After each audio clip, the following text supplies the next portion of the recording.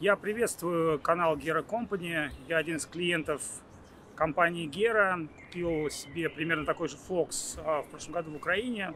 Сейчас у меня находится он в Америке. Я из него стреляю достаточно часто. Потрясающий лук. И хочу сказать, что по качествам он, конечно же, а, не уступает многим европейским и американским брендам. Хотя сам владелец Геры сказал, что мечтает делать такие луки, как делает Bear. Но я считаю, что Bear это такая компания, которая ну, немножко уже как бы на вчерашнем дне. Ну, во-первых, а, давайте поговорим немножко про луки. А, я последователь индийской стрельбы, ведической, древней. И это называют трик шатс, но люди не понимают, что древняя ведическая стрельба – это вопрос как бы айфона в сегодняшнем мире, это вопрос выживания. И из древней ведической стрельбы родилась наука, которая называется Данур-Веда. Данур-Веда – это наука не только о стрельбе из лука, это наука вообще о военной тактике, о философии. Из нее вышла книга Сунзы «Art of War» и многие другие древние трактаты. Поэтому Данур-Веда есть много разных разделов.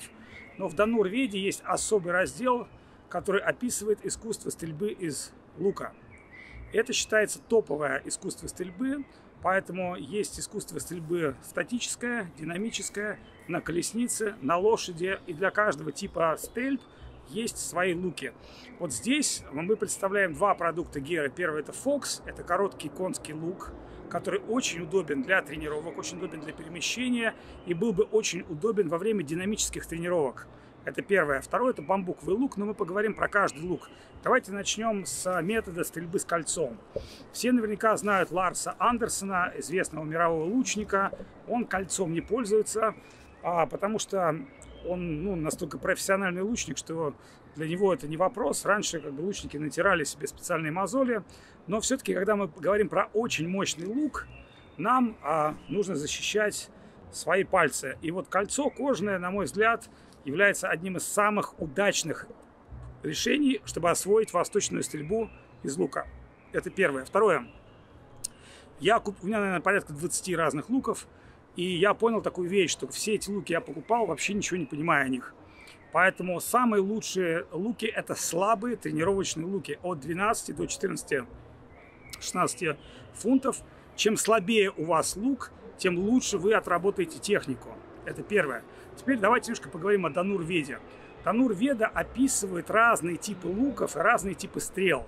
Как ни странно, мы говорим, а что такое вот стрела? Но на самом деле стрела мужская, с тяжелым наконечником, она баллистически летит вот так вот.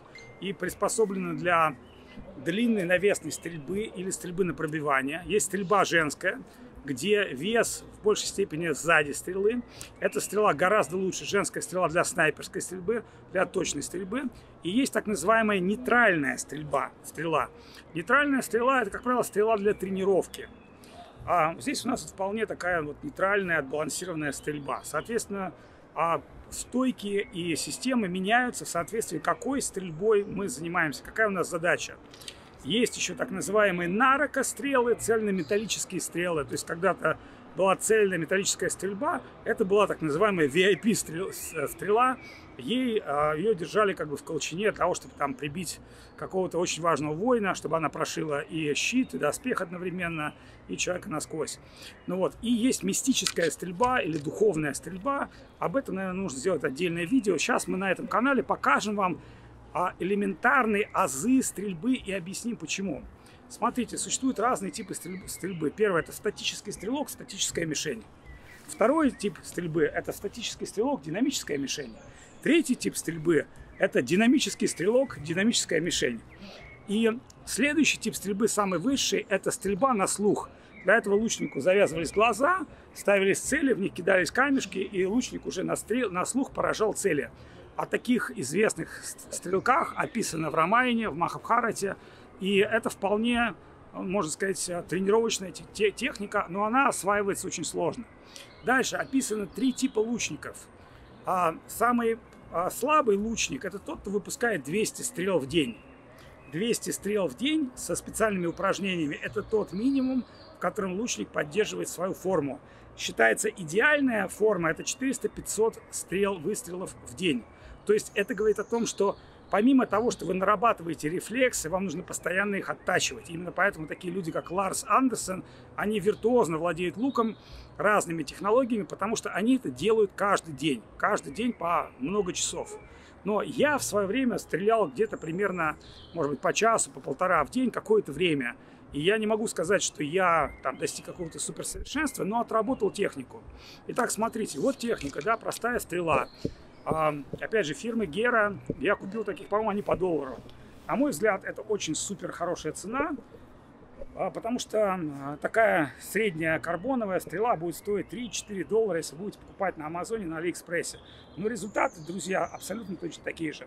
К сожалению, эти стрелы не до конца подходят под эту тетиву, они слишком тонкие, пропилы. Но мы сейчас попробуем даже с ними немножко поработать. Итак, первое, это как мы держим стрелу. Существует много методов держания стрел. Обратите внимание, что я держу ее двумя пальцами, и даже если я на коне, эта стрела никуда у меня не денется из пальцев, и я контролирую засечку, то есть наг, наконечник стрелы я полностью контролирую, что позволяет мне легким движением, смотрите, что я делаю, легким движением раз, и я уже ее проделал, все, она уже висит у меня на тетиве. Теперь только я делаю специальную мудру, это называется ухо льва, симхакарня, оттягиваю и попадаю фактически в цель, сразу же не целясь. Почему? Потому что стрелы я держу в той же руке, где и лук, либо в поясе, либо в колчине. Но если я реально хочу во время битвы двигаться, понимать, что происходит, значит, я должен всегда смотреть на тех лучников, которые стреляют в меня. Я не могу смотреть на свои стрелы, не могу смотреть на свой лук. Я все должен делать механически. То есть, видите, все мои движения, они механические. То есть я не целюсь. Это все работает на рефлексах. А для этого нужны долгие тренировки на мышечную память. Итак, смотрите, Показываю хват. Это очень универсальный хват, который работает как на снайперскую стрельбу, так и на пробивание. И поэтому этот хват называется турецким, монгольским, но в народе он называется симхакараня ухо льва. Смотрите, я не перекладываю стрелу сюда, потому что это очень-очень много усилий, а в бою каждая доля секунды важна. Поэтому я ловлю стрелу двумя пальцами, беру палец, видите, кольцо держит закрываю замок вторым пальцем и этим же пальцем, теперь смотрите с этой стороны, этим же пальцем, давайте сделаем здесь повыше, этим же пальцем прижимаю стрелу к луку. Понимаете, да? То есть у меня кольцо пальца держит так, что я прижимаю к луку. Теперь смотрите упражнение, которое вы должны повторять. Чтобы перейти на категорию динамическая мишень, динамическая стрельба, вы можете делать такое упражнение. Делайте хват. И теперь делайте вот такие движения то все, я еду на коне, видите, никуда не девается, ни стрела никуда. Оттягиваю цель, попадаю в цель спокойно. Почему? Потому что за счет хвата, за счет контроля стрелы и за счет, а, скажем так, а, техники я могу удерживать ровно стрелу под углом 90 градусов, даже находясь в движении. Запомните, лучник исторически всегда двигался. Он ловил чужие стрелы, посылал их врагу, прятался. Поэтому есть стойки. Например, смотрите, вот эта стойка, когда я загружаю одну ногу, и, например, вот таким образом оттягиваю лук, видите, сверху делаю рычаг. Эта стойка работает для того, чтобы я стрелял далеко мужскими стрелами. Можно еще одну стрелу. А вот теперь есть поза из йоги, которая называется поза лучники. Лучника это вот такая поза. Возникает вопрос, почему эта поза из йоги называется поза лучника? Объясню. Потому что в этой позе лучник занят технологией пробивания. Понимаете, да? То есть я посылаю свою энергетику. Вообще вся стрельба из лука – это энергетика. Еще одну стрелу, пожалуйста. Поэтому как работает лучная энергетика? Я не стреляю одной рукой, я стреляю двумя руками, как гармонь. Лук как гармонь. И это движение называется катра. Существуют разные типы катра. Для чего катра нужна? Во-первых, она увеличивает энергию стрельбы на 15, 10-15%. Это первое. Но самая главная задача катры – это докрутить стрельбу в момент динамической мишени. Например, если мишень движется, то я определенным движением досылаю стрелу. Можно еще одну стрелу. Теперь, чтобы вы понимали, если от меня прячется мишень за щитом, за луком, за углом, за деревом, он никуда не денется, потому что тогда я меняю траекторию. Видите? То есть у меня не 90 градусов стрела работает, а стрела у меня, например, на 30 градусов. Это позволит стреле лететь вот так вот по крученной траектории. Тогда я стреляю вот так, смотрите. И стрела летит вот так вот. То есть, иными словами, с помощью правильных положения стрелы и лука я могу полностью манипулировать и управлять полетом стрелы. Еще интересный момент. А, люди должны понимать, что лук не держит вот так. Обратили внимание, что у меня нет наруча. Потому что лук я держу немножко вот так. Это позволяет двум вещам. Первое, не повреждать мне руку во время стрельбы. А второе, за счет того, что у меня лук немножко криво, я делаю две вещи. Первую вещь, которую я делаю, это за счет такого движения я стреляю так, что стрела не касается лука фактически. Понимаете, да? То есть вот таким движением стрела проходит и улетает. Она не бьется об лук. Потому что есть такое понятие, как феномен стрелы. Стрела летит несколькими методами. Один полет стрелы называется рыбий хвост. Другой полет стрелы называется цветок или мандала. И в зависимости от того, как летит стрела, у нее меняется баллистика. И вот в древних науках люди баллистику очень хорошо знали и изучали. И поэтому а, они еще могли стрелять сверху, снизу, по динамичным мишеням. А главное, что они могли разрушать стрелы или луки врагов. Например, была специальная стрела, которая перебивалась тетива врага. Вам кажется, что это ха-ха-ха-ха, но а, тетива врага это очень важно. Смотрите, когда в вас летит много стрел, то лук тоже работает как оружие. Во-первых, стрела работает как оружие, во-вторых, вы можете делать определенные движения и стрелой, и луком. То есть у вас одновременно и тетива, и лук, и стрела работают как щит. Понимаете, да, если меня выпустило какое-то количество стрел, то я могу их отбить. Это первое, да. Второй вариант, я могу при отбиве поймать стрелу и тут же перезапустить ее своему другу обратно. Это как бы такой пирожок. Называется обратная стрела. Убить человека стрелой, которую он в тебя послал. Ну вот, это очень прикольно. Ну вот, и потом нужно понимать, что лук это тоже оружие. Я могу луком а, очень много делать боевых движений, поэтому есть целая система работы с луком, есть целое движение, система движения с луком, потому что он тогда будет существовать как щит. Да, есть а, методы рукопашного боя с луком, потому что луком я могу парировать удары меча, удары копья, а стрелы у меня, поскольку я держу тоже определенным образом, можно. Если я говорю про, например, скоростную стрельбу, то стрелы я могу держать вот так вот, между каждым пальцем. Таким образом, лучник может держать до 12 стрел и полностью их контролировать. То есть он даже не смотрит, да, он контролирует каждую стрелу и как бы они уже на предзарядке и но тогда мы должны при скоростной стрельбе изменить хват. Есть так называемый хват славянский. Вот смотрите, еще один хват, который, на мой взгляд, интересен будет для стрелков. Опять же, мы держим стрелу, опять же ее заряжаем, Здесь а, возникает такой интересный феномен, посмотрите. То есть, если мы берем вот так классический хват, да, очень полезный, то теперь, подойдите, пожалуйста, камеры ближе, то теперь мы так делаем так называемый славик дров. Но хотя на санскрите я забыл, как это называется. Палец сюда, а три пальца оттягиваем сюда. И вот а, давайте сейчас смотрите. Да. Ну, только Давай. дайте мне просто в мишень. И вот видите, что я делаю? Я вот этим пальцем прижимаю стрелу, а вот эти три пальца у меня тянутся. Вот этот хват позволяет мне стрелять вот так вот. Чу, чу, чу, чу. То есть это хват для скорострельной стрельбы. Он фактически позволяет выпускать 3-4 стрелы в секунду. И это как бы считалось нормально. Видите, то есть он а, другой хват. Теперь посмотрим еще один хват. Вот этот хват выпускает, если нужны очень тяжелые пробивки или у нас очень сложная местность. Тогда смотрите, что я делаю. Я беру раз, да, хват классический, но я не закрываю мудру одним пальцем, я беру вот так вот, как фигу. Посмотрите. У меня стрела закрыта двумя пальцами. Этот хват позволяет мне стабилизировать стрелу, и когда я делаю движение вперед, он увеличивает пробиваемость объекта. Поэтому задача стрельбы из лука это первая снайперская стрельба, второе это далекая навесная стрельба и третье это пробиваемость объектов. Ну и четвертое это динамика, как мы уже говорили. А, Ну, давайте попробуем а, для прикола стрельбу на звук. Давайте для этого покажем, как эта тренировка происходила. Значит, смотрите, вот а, ты завязываешь мне глаза, завязывай, нормально завязывай, чтобы я ничего не видел.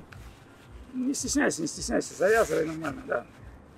Так, теперь кто-то, один из вас, оставляем уши, кто-то один из вас должен будет кидать в мишень, ну там стрелу или камешек, чтобы я слышал, ну или в забор, да. То есть, смотрите, вот я, например, начинаю раскручиваться.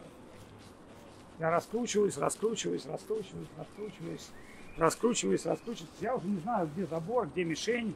Так. Так. Останавливаемся, да. Никого там не убью?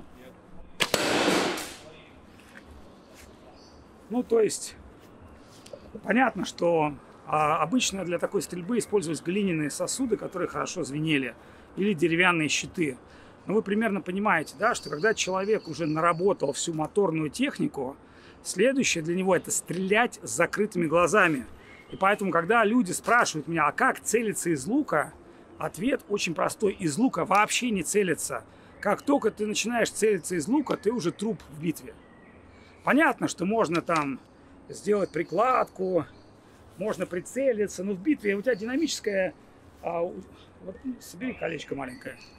То есть в битве у тебя нет времени на эти вещи. И поэтому в битве все должно работать на рефлексах, друзья.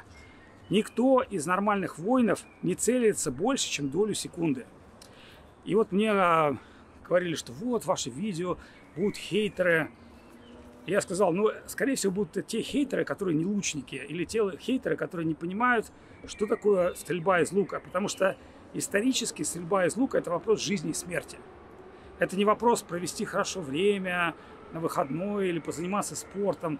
Это вопрос, либо тебя убили, либо ты убил врага в поле боя, или защитился от хищника, или там себе добыл еду. Вот, поэтому, друзья, история развития стрельбы из лука очень-очень древняя. И поэтому Данур Веда есть не только у индусов, она есть у турков, у китайцев. Так или иначе, как сейчас люди делятся мобильными телефонами, люди делились секретами производства луков. И многие традиции ценили луки, например, греческие луки с острова Крит, сделанные из рогов а, греческих горных баранов, считались одними из лучших. И когда римляне захватили Грецию на острове Крит, они открыли школу по стрельбе из луки, потому что греческие и критские лучники – это были лучшие лучники, можно сказать, античного мира. Но в Индии, если вы будете читать Махабхарату, а рекомендую вам почитать Махабхарату, вы увидите, что лучное искусство это вообще было частью кшатрийской культуры, частью, так сказать, аристократической боевой культуры. И у самураев, чтобы вы знали тоже, самурай это лучник на коне – только позже, потом уже шли мечи. Поэтому давайте, можно мне еще один лук, если не трудно, пожалуйста, передайте вот этот лук. Итак, а очень коротко, смотрите, у нас два лука, они совершенно разные.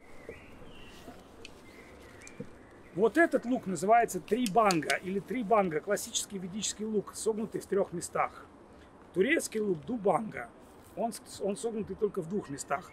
Все эти луки, как композитные, так и бамбуковые, описаны в Данур-Веде. Теперь чем отличаются длинные луки? Во-первых, такими луками пользовались трайбы, разные индейцы и лонгбоу, английские стрелки.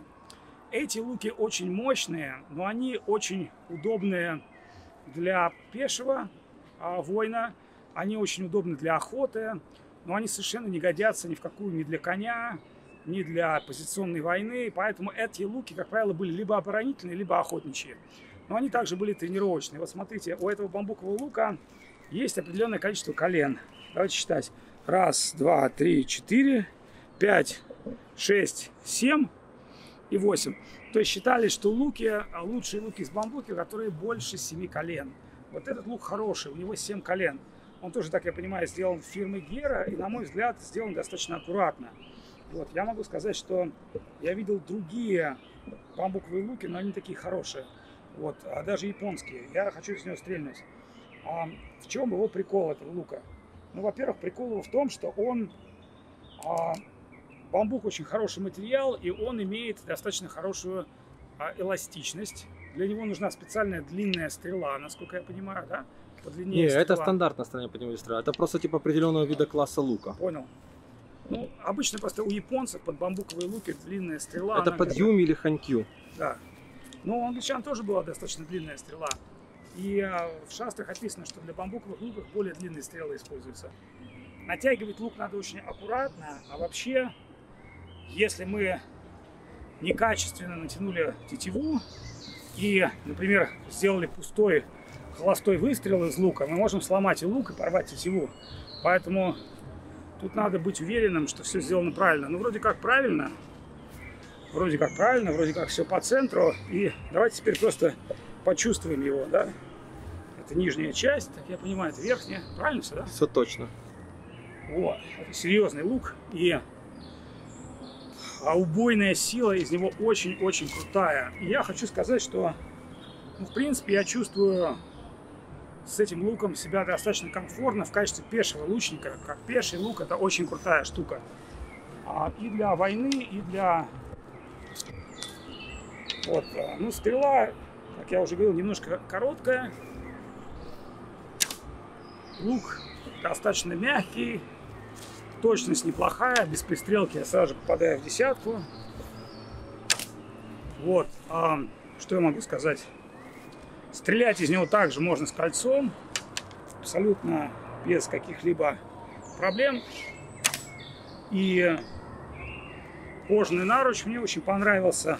Понравились вот эти маленькие штуки. Вообще вот а, у Геры, у них хорошо там компенсаторы, вот эти маленькие фишечки, понимаете, из этого состоит вся эстетика. Вот, ручки очень удобные. И посмотрите, вот считается, что бамбуковые луки лучшие, которые больше 7, 7 джойнтов. Раз, два, три, четыре, пять, шесть, семь. То есть вот это 7-джойнтовый лук. Вот, так они описаны в ведах. И они обычно должны быть примерно рост лучника. Здесь тоже это сохранено. То есть этот лук фактически в мой рост. Значит, это так называемый longbow, но это нельзя назвать longbow, потому что это не английский лук. Англичане делали луки из других материалов. Это больше а, тоже индейский, индийский, индийский и индейский. А, лук, потому что, в принципе, многие азиатские культуры делали луки из бамбука. Ну, а все остальное здесь, на мой взгляд, прекрасно отработано. Вот, и, не знаю, мне этот лук очень, очень понравился. Я бы себе такой купил, если бы у меня рейндж был где-то на даче. Ну, то есть, понимаете, да, где у тебя много-много луков, и ты можешь из такого прикалываться, походить по лесу, пострелять. Для, конечно, а, тренировок на коне и более такой динамической городской жизни вот этот тоненький лук более подходит. Но, ребята, те, кто ну, хотят как бы в своей коллекции иметь что-то стоящее, я бы сильно порекомендовал. Если вы сможете купить такой лук в районе там от 100 до 150 долларов, в зависимости от отделки и качества, то это очень хороший бай. Объясню почему. Потому что, ну, как вы понимаете, бамбук импортированный, наверное, да, это что-то там Вьетнам, Индия, да, то есть это не местное дерево. И качество очень-очень классное. Качество обработки, качество склейки. Я бы сказал, что это очень fair price. Но опять же, смотрите, это видео не является коммерческой рекламой, это просто алаверды нашим друзьям из Геры, потому что мы купили у них луки, стреляем из них.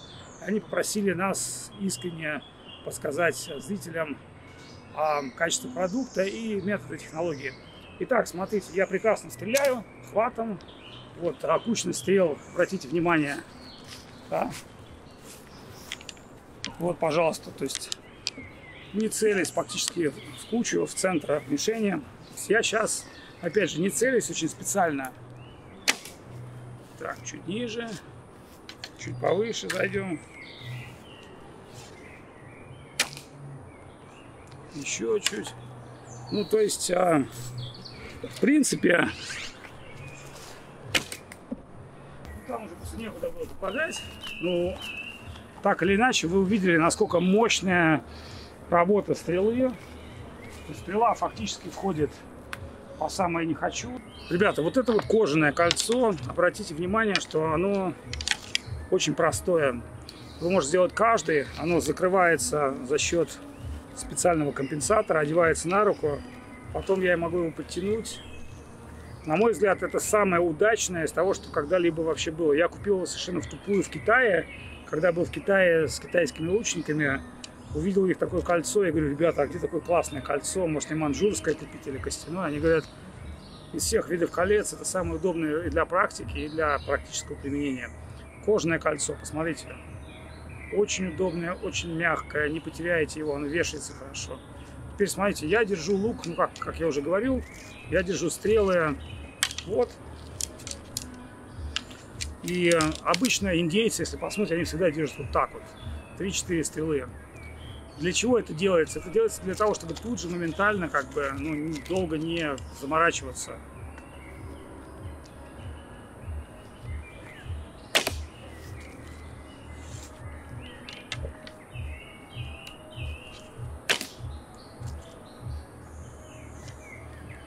Я не делаю сейчас специальную стойку, специальную оттяжку, но я просто стреляю интуитивно и фактически попадаю.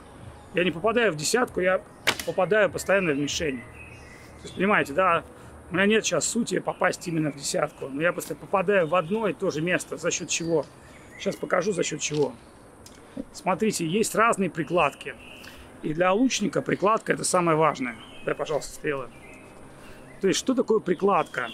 Это когда твои мышцы помнят позиции твоей стрельбы, и ты уже никогда не целишься. Вот смотрите, я взял, видите, я держу двумя пальцами стрелу, пускай она просяет кольцо, вот, да, видите, стрела уже, вот, она у меня держится. То есть я могу манипулировать как угодно. Я могу сражаться с этим луком, но у меня никогда положить не А теперь смотрите, что я сделал прикладку раз к щеке, Значит, у меня вот на уровне щеки работает. Следующая прикладка раз к уху. Это другая прикладка. Третья прикладка раз к носу или под подбородку. Вот от прикладки зависит баллистика стрелы. И от прикладки зависит стиль. Поэтому мы всегда должны тренировать прикладку не просто стрелять, а понимать четко, куда приходит стрела, куда приходит рука и чувствовать ее. И в процессе многих-многих выстрелов у нас наработается техника – эта техника позволит нам с вами стрелять не целясь. Еще раз, друзья, задача стрелять не целясь. Если вы целитесь, значит вы плохой стрелок. А если вы научились с помощью прикладки, смотрите, да, видите, стрелять не целясь через а, ну, метод держания лука, тогда у вас все хорошо. И, например, колчан, да, у нас есть колчан на лошади или колчан где-то. Ну, что такое колчан? Колчан это много непонятных стрел, поэтому раз, удар в колчан. Можно сделать удар, положим. Вот стрелы в колчине, да? Видите? Ну, стрелы торчат в колчане. Я делаю раз, удар. Вот, я достал три стрелы. То есть я знаю, у меня 3-4 стрелы в руке. Это индийская, тоже арабская техника. То есть, видите, я в таком варианте иду. Я знаю, что у меня раз, выстрел 2, выстрел 3, выстрел. Все попали в одну цель. Я это делаю медленно. Настоящий тренированный лучник сделает 3 выстрела 1.5 секунд. Я уверен вас, что если мишень быстро движется, то как минимум две стрелы или одна стрела придут в цель. Еще раз, ребята, показываю несколько раз, как правильно нужно делать во-первых, стрелу мы держим всегда пальчиками, чтобы контролировать момент нака. Дальше, держась за нак, мы его пропихиваем. Вот эти два пальца контролируют стрелу. У нас она врезается под тетиву. Потом мы аккуратно разворачиваем, и тут же стрела уже сидит на тетиве. Я здесь немножко помогаю пальцем, потому что а, слишком узкое а, горло стрелы. Но в целом это делается без всякого а, усилия. Дальше палец сюда, за стрелу палец как бы как курок, и другой палец, он как бы защелкивает курок. И после защелкивания он запирает стрелу так, чтобы стрела прижималась к луку. Обратите внимание. Вот видите, раз. То есть я сделал так, чтобы стрела прижалась к луку. И дальше, когда я тяну, приложил, да, я держу и отпускаю. Ну вот все, что, ребята, я вам хотел сказать. Да, как наши говорят друзья, для хейтеров я рассказал одну историю. У меня был один друг гей. Его, ему сказали, как вы относитесь к хейтерам? Этот гей сказал, мой друг, он сказал, ну они же не геи. Поэтому я сказал, а, ребятам, что если есть, будут хейтеры, которым это не понравится, то они не лучники. А те, кто лучники, жмите палец вверх, подписывайтесь на канал. Меня зовут с вами Аватхуд. Я наверняка еще сделаю несколько видосов о теории стрельбы из лука. Это древняя духовная культура. Я сам индийский монах. Изучал а, различные боевые искусства, но к луку пришел немножко поздно, после 40 лет. Хотя с детства тренировался. И только благодаря тому, что я стал читать древние книги, Махабхарату, смотреть Ларса Андерсона, он даже, кстати, тоже читает Махабхарату, у него даже видео есть, я понял, что лук это очень-очень крутой спорт, крутая духовная дисциплина, это помогает мне для концентрации, для медитации. Надеюсь, поможет вам. Спасибо, дорогие друзья, всего хорошего.